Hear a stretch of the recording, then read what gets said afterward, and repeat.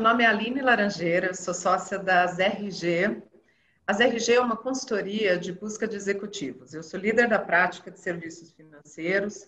Estou aqui hoje com a Cristiane Nogueira para bater um papo super legal sobre carreira.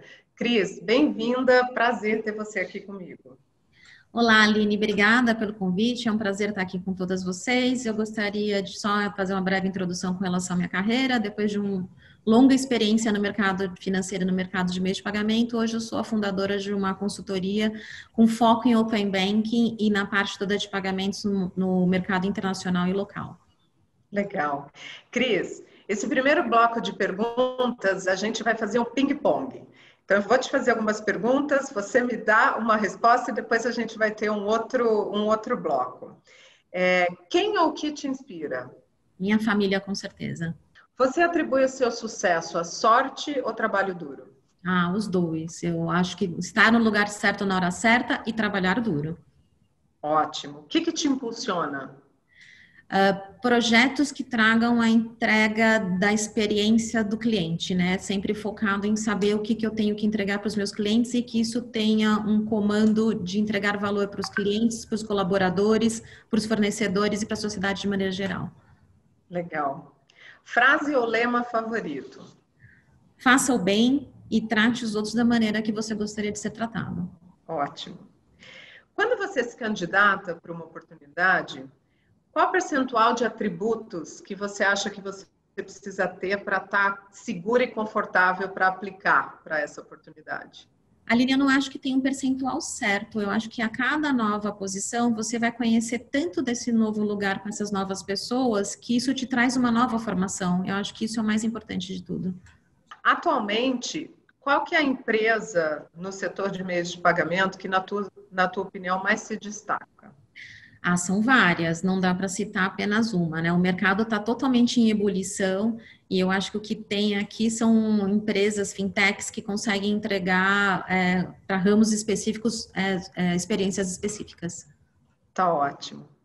Cris, agora a gente vai para o segundo bloco que a gente vai falar, a gente pode entrar um pouquinho mais em profundidade Uh, qual que tem sido o teu maior desafio no, no, desenvolvimento da tua carreira nesse setor?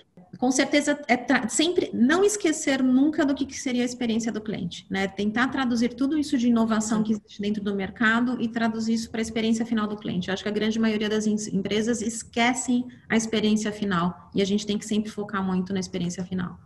Ótimo. O que, que foi a maior conquista da tua carreira? Uh, com certeza o legado que eu deixei, as pessoas que eu inspirei, né, as equipes por onde passei, então as relações que construí, com certeza isso é a parte mais importante da minha carreira. Sendo uma líder sênior e sendo mulher, como você ajudou a moldar a cultura dos lugares onde você passou? Eu, eu, sempre, em todas as empresas por onde eu passei, eu sempre dei muito valor para a diversidade, por equipes multifuncionais, de maneira que a gente tivesse pessoas que não se assemelhassem dentro das equipes e trouxessem as melhores experiências para dentro dos projetos e das equipes que a gente tivesse. Então, assim, eu sempre trabalhei muito focada em diversidade e sustentabilidade. E o que é que você fez uh, para trazer ou para inspirar né, outras pessoas na sua, na sua jornada? A postura ética, né? Acho que a, a, ética está acima de tudo hoje em todas as relações, né? Então, tanto no, nos colaboradores quanto nos, no, nas, nos, nas parcerias que a gente tem, isso é muito importante que você trate todos os, os seus parceiros com, com, muita ética, né? Então, acho que é uma coisa que dentro da, da minha jornada sempre foi muito importante. E qual que foi a importância né, da, da rede de contatos, as tuas conexões para o desenvolvimento da tua carreira? A Aline muito importante, né? Eu acho que o fato de você trazer todas as relações, o tratar as pessoas como você gostaria de ser tratado, né? Acho que as coisas agora uhum. começam a se conectar, a trazer muita ética para dentro das suas relações e você cada vez mais construir contatos e conexões faz com que você na sua vida consiga facilitar algumas, alguns projetos que você acaba participando e aí cada vez mais trazendo pessoas para dentro desses projetos. Se você tivesse que ter feito alguma coisa diferente na sua carreira, o que teria sido? E que conselho você daria para as mulheres que estão iniciando carreira nesse segmento?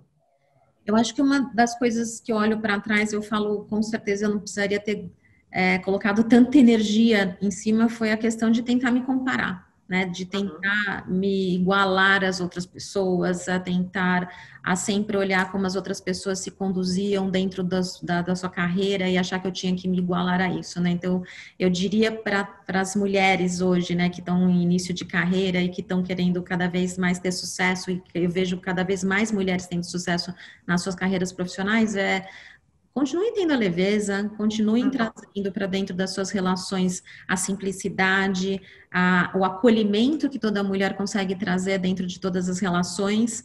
É, não tente o tempo inteiro achar que você se comparando aos conhecimentos das outras pessoas, que você desta maneira você vai ser mais capaz ou mais competente. Isso não existe, né? Continue sendo você. Ótimo. Cris, Queria te agradecer, foi um prazer muito grande ter você aqui comigo hoje. Obrigada a você, Aline, foi um prazer imenso.